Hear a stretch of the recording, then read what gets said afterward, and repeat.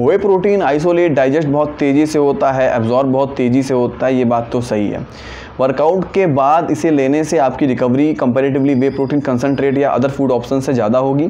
ये बात सरासर गलत है, एक मार्केटिंग का तरीका है, सिर्फ़ और सिर्फ़ और कुछ नहीं। ये बात मैं आपको पहले भी कई बार बता चुका हूँ वर्कआउट के बाद हमारी बॉडी में मसल प्रोटीन सिंथेसिस स्टार्ट होता है। लेकिन ये 10-15 मिनट के लिए स्टार्ट नहीं होता है ये अगले 48 घंटे के लिए स्टार्ट होता है।